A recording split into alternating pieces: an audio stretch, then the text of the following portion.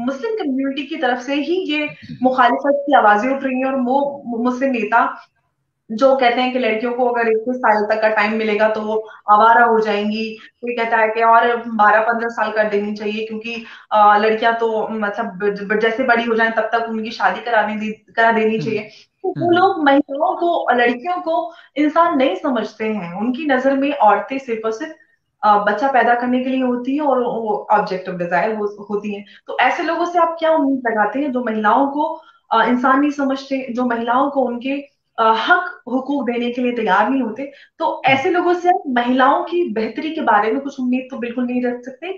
इसीलिए वो जब भी महिलाओं से रिलेटेड औरतों से रिलेटेड कोई उनकी बेहतरी के लिए कानून आया है चाहे ट्रिपल तलाक हो चाहे हम सिमिलर एज जो आज हम डिस्कस करें वो हम्म। बात हो ऐसा कोई भी जब भी बात होती है तो ये लोग अटपटे, बेहूदी, बयानबाजी देकर इसका विरोध करते हैं।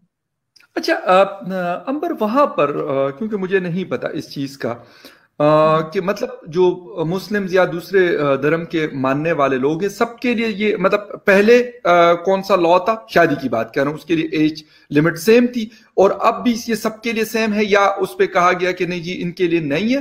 बेशक अगर ये मतलब एटीन ईयर्स में करते हैं तो कर सकते हैं। बाकी लोगों के लिए ट्वेंटी वन ऐसा कुछ है या मतलब सबके लिए सेम? देखिए हिंदुस्तान में जो कॉन्स्टिट्यूशन चलता है लेकिन हमारे देश में कुछ कम्युनिटीज हैं जिनको पर्सनल लॉ प्रैक्टिस करने की आज़ादी है जिसमें मुस्लिम कम्युनिटी भी है।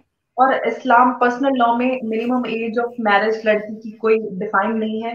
तो लड़कियों की छोटी उम्र में शादी होती है ये बात सत्य है लेकिन बहुत सारे लोग इस चीज़ को एक्सेप्ट नहीं करते हैं पब्लिकली लेकिन होता है और यही रीजन है कि ये जो नेता है वो इस बात की की पूरी तरीके से मुखालिफत करते हैं कि लड़कियों की शादी और होनी चाहिए और ये जो कदम है जो कदम उठाया गया है ये बिल आने के बाद इसमें हर लड़की जो भी जो भी पानी है उसको हम्म। बराबर उसके लिए रखा जाएगा हर लड़की के लिए हर लड़की के लिए है कि हर लड़की को इक्कीस साल तक का समय मिले कि वो ग्रेजुएशन करे वो फाइनेंशियली हम्म। इंडिपेंडेंट हो जाए ताकि वो आगे की ज़िंदगी उसकी बेहतर हो सिक्योर हो। वो किसी की मजबूर ना रहे। तो ये लड़कियों को स्ट्रेंथन करने के लिए इम्पावर करने के लिए ये लॉ है।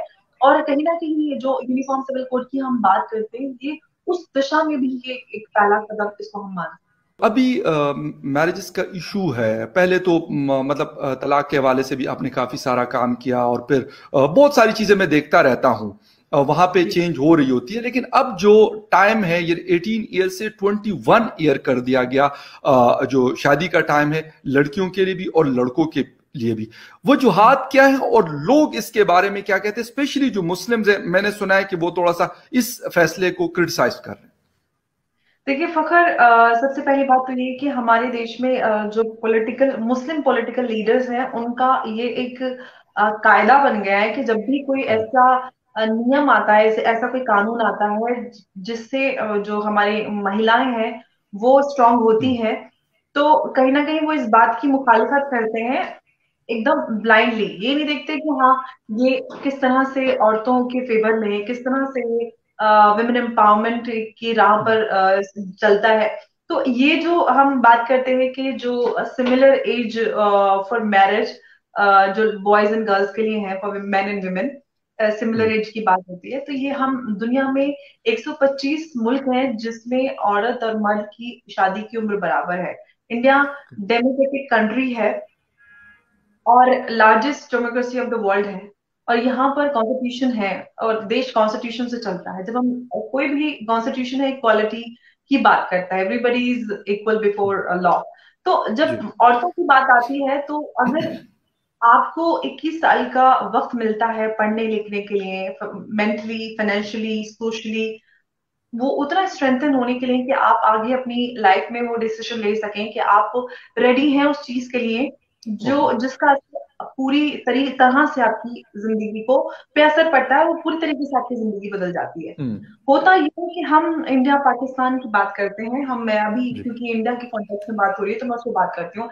देखिए इंडिपेंडेंस डे पे लास्ट ईयर हमारे जो प्रधानमंत्री मोदी जी हैं उन्होंने भी ये बात अपने जो उन्होंने स्पीच थी उसमें बात कही थी कि जो सिमिलर जो शादी की औरतों की लड़कियों की उम्र है उसको कहीं ना कहीं मुझे लगता है कि उस पर एक बार विचार ज़रूर किया जाएगा, क्योंकि जो लड़कियाँ हैं वो मेल मेलन्यूट्रिशन का शिकार होती हैं और इस पे एक कमेटी का गठन किया गया कमेटी बनाई गई और कमेटी ने एक रिपोर्ट जमा की उसी के को मद्देनजर रखते हुए ये सारे बदलाव किए गए हैं। हम जो कमेटी जो कमेटी की रिपोर्ट है उसमें ये सारी पॉइंट्स हैं कि लड़कियाँ नंबर वन मेल उसके बाद एनीमिया आता है और जो आप देखते हैं कि छोटी उम्र में लड़की की शादी हो, हो जाती है चौदह पंद्रह बारह सोलह या अठारह की उम्र में तो वो फिजिकली एक बच्चे को जन्म देने के लिए तैयार नहीं होती है।